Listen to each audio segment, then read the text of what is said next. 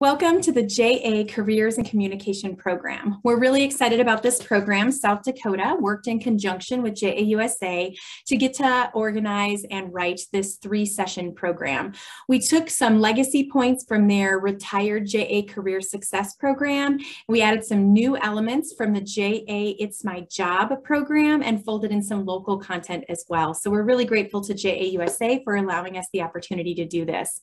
We get three trips into the school to really encourage the students to think about some career readiness, some soft skills that are going to affect them both now, today in high school, as well as their future careers.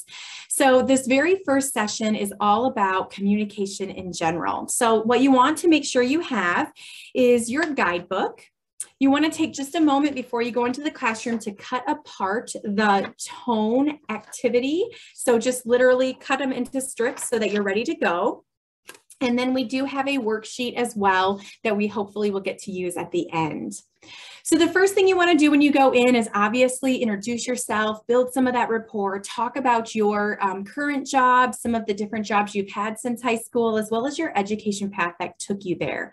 Then we're going to jump right into communication. You're going to notice there's three main topics um, that we're going to be folding into this entire session today. The first thing is just communication in general. And we're going to start off with a really quick icebreaker to get the students interacting and moving right off the bat. So talk a little bit about, um, ask the students like what jobs do they have? Do they have a part-time job? Have they had a summer job, etc. So ask them that because we're going to be referencing that throughout your three visits. And then just ask them what are some of the common things that they often say within their job? Maybe it's, you know, how are you? How may I help you? Right? Um, it depends upon what their career of industry um, choice is. The first activity is just to split the students into small groups and to have each group have a topic. You're going to notice that some of the topics repeat. So depending on how many student groups you have, you have might have more than one group that has the same topic. But what they're going to do is they're going to consider how can you say the same thing, but communicate it very differently. So they have a main topic and then they have three ways in which we want them to share that information. And how does it sound different? And what would that final implication be in depending on how they actually say it. So again, we want this to be extremely brief two to three minutes at max. And you don't have to have every single group report back out depending on the timing. But what you could say is who has the topic of thank you for coming today. I'm here to help you in any way that you need. Have those groups stand up and then have them share a couple of their different um, ways in which they came up with it. You could say the same thing, but imply very, very different things.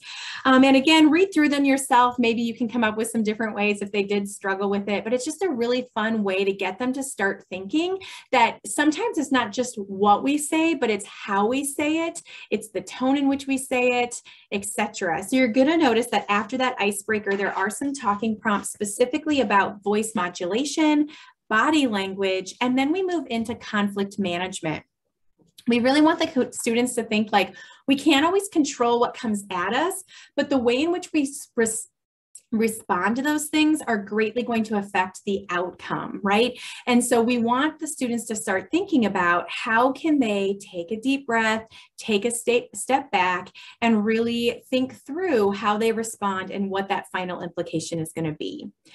From there, we're going to switch topics to cell phone usage. Now, this is a topic that every one of the volunteers in your companies are going to have a different opinion on and different policies on. The teacher might have a different perspective as well as the students. So just know there isn't necessarily a perfect right or wrong answer, but it really comes down to what's your industry, what is the company's policy, and we really want to get the students to think about those different perspectives and really how to be respectful with their cell cell phone. We know that policies have changed in companies um, greatly throughout the last 10 plus years, and they're evolving every single day, right? So first thing we want to just do is build a big just um, brainstorm on the board about all the different things that you can do with a cell phone. So just have the students shout them out, write on the board all the different things. And then once you kind of exhaust that list, have the students take a step back and think about which ones do they think would be appropriate to utilize in the workplace and maybe circle the ones that they shout out that they think is appropriate and then maybe cross off the ones that they think are just like absolutely not appropriate to use again in the office. And then just talk a little bit about it and the whys behind it. And they might disagree a little bit because there are some industries that it might be appropriate or maybe it's appropriate on a break but not while you're on the clock. All those different topics might come out as you're talking. Then what we're going to do is transition to a do's versus don't. And again, we want the students to really like get up, get moving, and really to foster dialogue. So again, there is not a right or wrong answer necessarily. We're all about the conversation about the why. So what you want to do is you just want to throw out the first one that you'll notice. Keep your cell phone stored away and muted at work. Do they think you should do that? Is that appropriate to do at work? Go on this side of the room. If you think that that's not a big deal and you don't need to do that, go to this side of the room. So allow the students to take just a few seconds to choose a side of the room and then open up dialogue. Why do they think this? Why do they think that? And again, it's not, it's such, all of these are so gray. We're really focused on the conversation. Their perspective might be different than yours. It might be different than the teachers. And again, we might really need to get them thinking about the different perspectives of the industries as well. So you're going to notice that some of them are super quick. There's one that says post on social media while at work. We're really hopeful that this one will dive into a little greater conversation about social media. So we're hoping that you have the opportunity to take a little bit of time to, to just navigate that one and, and talk through some of those additional talking prompts on that one. Um, and again, it just really um, depends on the situation at hand. The very last one says sneak a peek at your phone. And there are so many ways, right, that that could be dangerous in work settings. You might get distracted. There are a list of different ways. Like think about if you were in these different work settings, how could it potentially be really negative impact if you were distracted by your cell phone. So again, get them to think about different perspectives. It might not matter in most jobs, but what if you're working a construction site? That could be a safety issue.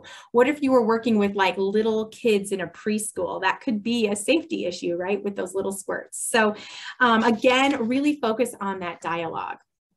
And then what you're going to do is fold into our last topic in conversation. And we realize this one might get a little bit tight and we put it at the end, not because it's not important, but because we really want you to focus on those those first aspects of communication.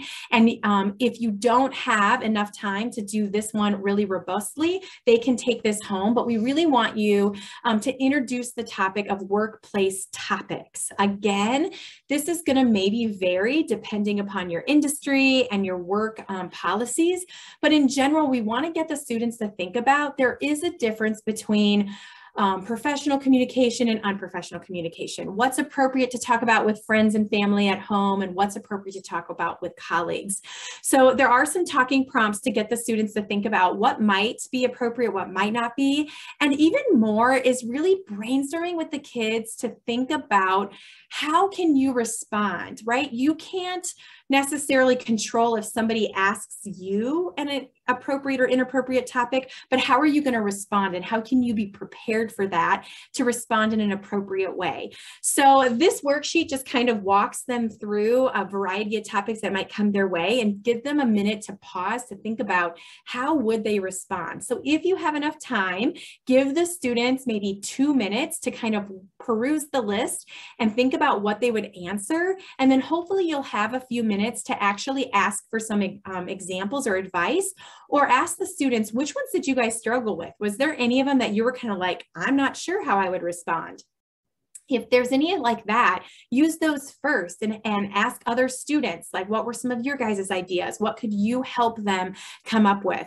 I would really encourage you to take just a few minutes in preparation for this session to go through that list and really think about a viable option or two. Again, there's many ways in which you can approach it, but have some ideas ready to go for the students.